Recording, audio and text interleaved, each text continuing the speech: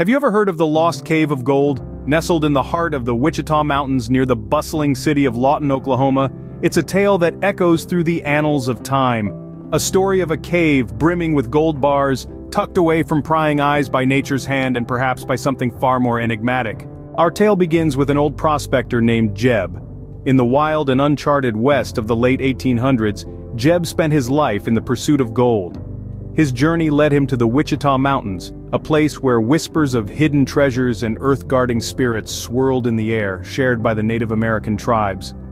One stormy day, while seeking refuge, Jeb discovered a cave, its entrance veiled by a curtain of dense underbrush and stones. Inside it was unlike anything he'd ever come across. Veins of gold ribboned the walls and on the ground, bars of the precious metal lay stacked, as though left in haste by long-gone miners. Jeb had found the wealth that had eluded him all his life. But as he reached out to claim it, a sudden chill prickled his spine. He remembered the legends of the spirits protecting these treasures and realized this wealth was not his to claim. Fearing retribution, Jeb took only a single bar of gold, leaving the rest untouched. He tried to return, to mark the cave for others, yet it seemed to have disappeared, concealed once again by unseen protectors.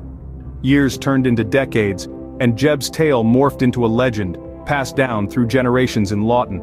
The story of the lost cave of gold lured treasure hunters and adventurers from across the globe. Yet the cave remained elusive, shielded by the natural fortress of the Wichita Mountains, and perhaps by something more mystical.